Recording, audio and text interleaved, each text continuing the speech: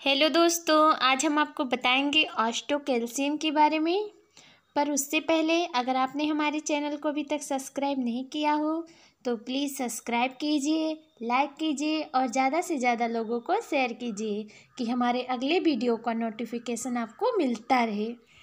दोस्तों, ये osteo calcium एक कैल्शियम की दवा है, जिससे हड्डियाँ तथा मांसपेशियों को कैल्शियम मिलता है और उससे हड्डियाँ मज़बूत होती हैं।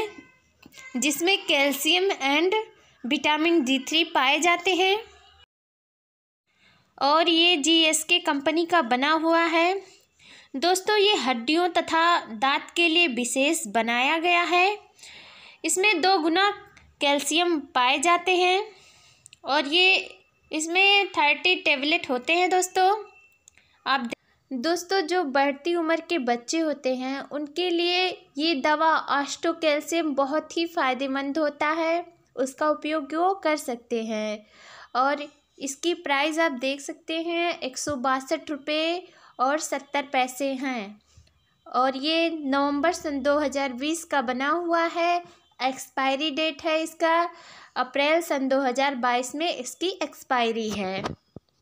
दोस्तों, इसके हम कंटेंट्स के बारे में आपको हम बता दें, जिसमें विटामिन डी थ्री चार सौ यू मिलता है और ढाई सौ एम जी कैल्शियम मिलता है इसमें। डोज के बारे में जान लीजिए। दोस्तों, अगर कोई छोटा बच्चा है, तकरीबन तीन या चार साल का तो एक टेबलेट सुबह शाम में कभी भी एक टेबलेट वो ले सकता है। और अगर कोई बड़ा व्यक्ति है तो उन्हें सुबह शाम एक एक टेबलेट लेना है।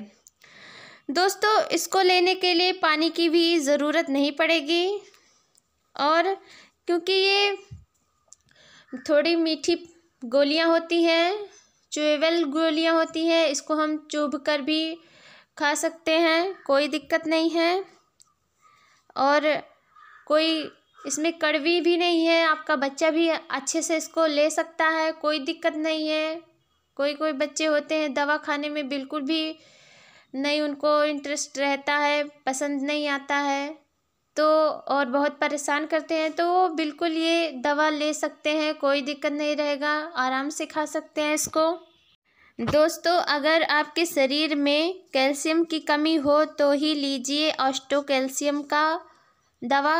अगर कमी ना हो तो मत लीजिए, नहीं तो कैल्शियम की मात्रा ज़्यादा हो सकती है।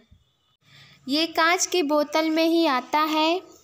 दोस्तों कोई कोई बच्चे होते हैं जिनके दांत टूट जाने पर जल्दी निकलते नहीं हैं और जो महिलाएँ होती हैं प्रेगनेंसी के बाद, उनकी रीढ़ की हड्डियों में दर्द होता है और जो सीज़र करवाई होती हैं, उनको भी ज़्यादा से ज़्यादा परेशानी होने लगती है।